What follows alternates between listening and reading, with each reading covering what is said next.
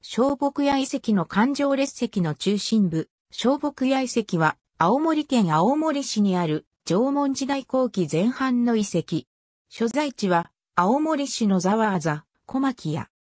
山内丸山遺跡の南に位置する。1995年3月17日に国の史跡に指定された。小木屋遺跡2015年5月3日に約 1.5km 離れたところにある旧青森市立野沢小学校3月に閉校を改修し、青森市小牧屋遺跡保護センターが開設された。小木屋遺跡は荒川と樹大川に挟まれた大地上標高145メートル付近のところにある。遺跡は古くからその存在が知られてはいたが、長い間調査はされていなかった。しかし1980年代前半、当時青森山田高等学校に勤務していた笠井務が発掘調査を実施。俗縄文時代の遺物を発掘し、遺跡としての認知度が上がる。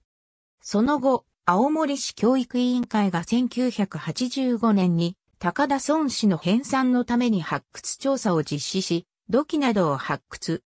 そして、1989年には、青森山田高等学校の遺跡発掘クラブが、環状列石を発掘し、青森市の有名な遺跡の一つとなる。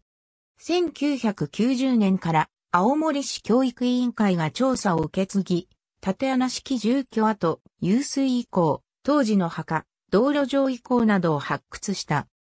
直径2.5メートルの中央体、直径29メートルの内体、直径35.5メートルの外体の三重の輪の他、さらに外側に一部良いとなる古上列石や直線上列石、直径4メートルの環状列石などがあり、直径は55メートルにも及ぶ。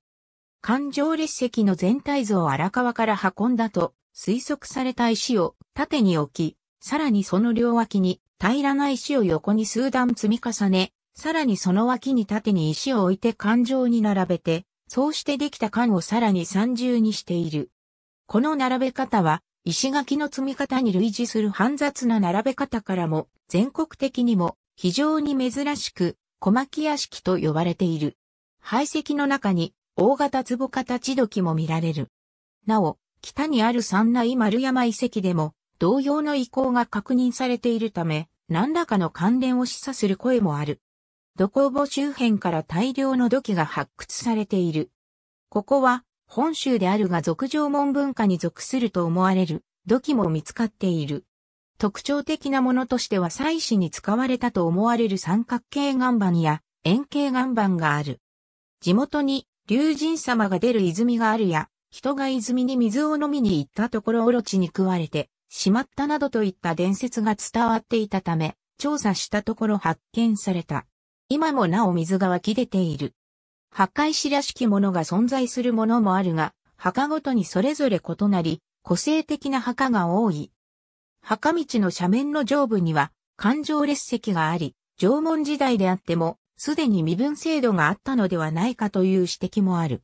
遺跡からは柱の跡とみられる穴が見つかっている。そのため、ここに何らかの建物が存在していたと推測される。ありがとうございます。